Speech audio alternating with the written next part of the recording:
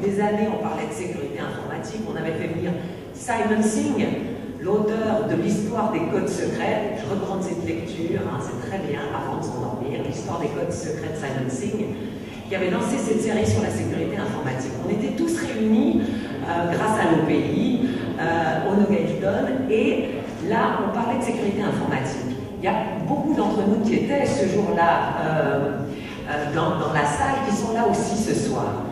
Et Grégoire Ribordi, qui est là aussi, a commencé à faire une animation en décortiquant le drapeau de la ville de Genève. Et c'était extraordinaire parce qu'il faisait la démonstration que le cœur, au cœur de Genève, il y avait cette notion de sécurité. Vous savez que la clé est un des emblèmes principaux de Genève. Et ça a été comme un satori collectif.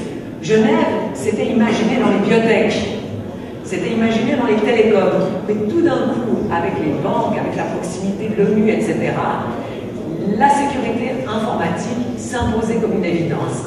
Alors, ça a été un grand moment. Je crois que vraiment, euh, le, forum que vous avez lancé, Security, euh, le, forum sur la sécurité, qui aura lieu en juin, est un grand moment. Je crois que c'est une grande chance pour Genève. Très rarement, on a su se mobiliser pour quelque chose. On aurait pu le faire pour le développement durable, pour plein de choses. Genève passe des fois à côté. Là, je crois que c'est une immense opportunité et j'aimerais vraiment souligner à quel point cette initiative est due euh, au courage de Waiski à sa détermination. Et puis, on a beaucoup fêté Carlos Morera ce soir. Moi, j'aimerais juste qu'on donne aussi, euh, qu'on félicite une, toute première. Je ne sais pas si tu l'as déjà rencontré, Carlos, mais elle vient de commencer ce soir dans ton entreprise. C'est sa première journée de travail. C'est Fiorella Diaz. Est-ce que Fiorella Diaz est là? Voilà, c'est la petite dernière. Voilà, elle est là. Elle vient